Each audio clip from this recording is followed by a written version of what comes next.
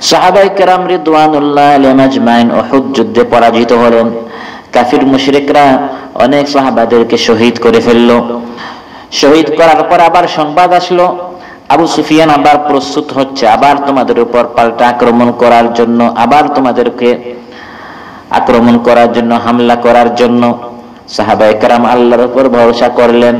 الذين قال لهم الناس إن الناس قد جمعوا لكم আল্লাহ তাআলা বলেন সাহাবাদের কথা স্মরণ করো যখন তাদেরকে বলা হলো মানুষ কিন্তু একত্রিত হয়েছে সমবেত হয়েছে তোমাদের উপর আক্রমণ করার জন্য ফাখশাউহুম তোমরা এই সকল কাফির মুশরিকদের বড় বড় বাহিনীগুলোকে তোমরা ভয় করো আল্লাহ তাআলা বলেন সাহাবারা প্রতি উত্তরে তারা বলল فزادهم إيمانا وقالوا حسبنا الله ونعم الوكيل এই সংবাদ শুনে সাহাবাদের ইমান আরো মজবুত হলো সুবহানাল্লাহ বলেন ইমান আরো মজবুত হলো এবং তারা বলল হাসবুন আল্লাহ আমাদের জন্য আল্লাহ তাআলাই যথেষ্ট ওয়া নি'মাল ওয়াকিল আর সাহায্যকারী হিসাবে আল্লাহ তাআলাই আমাদের জন্য যথেষ্ট সুবহানাল্লাহ আল্লাহ তাআলা আমাদের সাহায্যকারী এবং সাহায্যকারী হিসাবে আল্লাহ তাআলাই কত উত্তম না সাহায্যকারী, সুবহানাল্লাহ। আর যদি আমরা আল্লাহর উপর ভরসা করি যে অবশ্যই এই কঠিন পরিস্থিতি থেকে মুসলমানদের এই অবস্থা থেকে অবশ্যই আল্লাহ তাআলা আমাদেরকে সাহায্য করতে পারবেন, বিজয় দান করতে পারবেন, তাহলে আমরা ভরসা করব আল্লাহ তাআলার উপর। মহানবী আলাইহি সাল্লামের ঈমান আল্লাহর উপর ভরসা কেমন মজবুত ছিল, সামান্য আমরা যদি চিন্তা করি।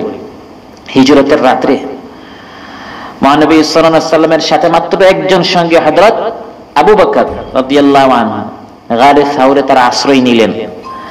কাফির মুশরিকরা আল্লাহ নবী সাল্লামকে তালাশ করতে করতে গারে সাউর পর্যন্ত পৌঁছে গেল। হযরত আবু বকর ভয় পেলেন, ইয়া রাসূলুল্লাহ, সামান্য যদি তারা খেয়াল করে, নিজের পায়ের দিকে তাকায়, তাহলে তো তারা আমাদেরকে দেখে ফেলবে। মহানবী সাল্লামের ঈমান আল্লাহর উপর ভরসা, আল্লাহর সাহায্যের উপর তার বিশ্বাস ইয়াকিন কত মজবুত ছিল। তিনি বললেন, ইয়া আবা বকর, মা যান্নুকা বিসনাইনিল্লাহু সালিসুহুমা? সেই দুই ব্যক্তি সম্পর্কে তোমার কি ধারণা? যাদের তৃতীয় হচ্ছেন আল্লাহ, সুবহানাল্লাহ। আমরা দুইজন, কিন্তু আমাদের সাথে তৃতীয় আছেন কে? আল্লাহ। এই বিজয়ের মাসে যদি আমাদের এই বিশ্বাস হয় যে অবশ্যই আল্লাহ তাআলা আমাদের সাথে আছেন, যেহেতু আমরা সত্য পথে আছি, তাহলে আমাদের ইমান আমাদের ইয়াকিন আরও মজবুত হবে এবং আল্লাহ তাআলা অবশ্যই আমাদেরকে বিজয় দান করবেন। হযরত মুসা আলাইহিস সালামের ঘটনা আমরা সবাই জানি। ফিরাউনের জুলুম, অত্যাচার, নিপীড়ন থেকে বাঁচার জন্য বনি ইসরাইলকে নিয়ে তিনি চলে গেলেন। সামনে সমুদ্র, পিছন দিয়ে ফিরাউন আসছে। বাঁচার আর কোনো, পালাবার আর কোনো বাহ্যিক কোনো উপায় নেই। আমাদের মতো যারা দুর্বল ইমানদার, দুর্বল ইমানওয়ালা যারা, আমার বনি ইসরায়েলের মতো তারা তো বলেই ফেলল ইন্নালা মুদ্রাকুন। হে মুসা, কত ওয়াদারা তুমি আমাদের সাথে করলে যে ফেরাউনের এই জুলুম থেকে আল্লাহ আমাদেরকে বাঁচাবেন। কোথায় বাঁচবে? আমাদের সামনে সমুদ্র। তুমি তো আরও ধ্বংসের দিকে আমাদেরকে নিয়ে আসলে। বাঁচবো কোথায়? সামনে সমুদ্র পিছনে তো ফেরাউন চলে আসছে। হাজরত মুসা আলাইসাল্লামের ইমান কত মজবুত ছিল। দৃঢ় ইমানের সাথে তিনি বললেন, কাল্লা, কখনো না। কোন অবস্থায় আমরা তাদের হাতে দরা খাব না। কারণ ইন্না মাইয়া রাব্বি সায়াহদিন। কারণ আমার সাথে আমার রব রয়েছেন, তিনি অবশ্যই আমাকে সঠিক পথ দেখাবেন, সুবহানাল্লাহ। আপনি আল্লাহর সাথে কথা বলতেছেন, এই অনুভূতি নিয়ে না কোরআন পড়বেন, যখন একটা স্বাদ পাবেন, একটা ভালোবাসা, একটা মহাব্বত হবে, এবং অর্থ সহ পড়বেন, বোঝার চেষ্টা করবেন। এখন যদি কেউ বলেন, আমি তো আরবিও পারি না, আমি বাংলা পড়তে পারি না। এরকম আছে না আমাদের অনেক ভাই? এরকম আল্লাহ তালা সিস্টেম করে দিয়েছেন।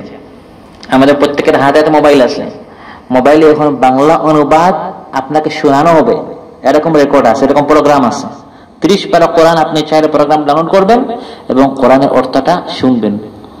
বা আমরা আরেকটা সিস্টেম করে আমাদের ভাইদেরকে যারা পড়তে পারে তাদেরকে বলি, আপনি পড়বেন, আর যে পড়তে পারে না সে কি করবে? শুনবে। তাহলে আমরা একটা কোরআনের পরিবেশ আমাদের সৃষ্টি হবে। সবাই রাজি আছেন ইনশাল্লাহ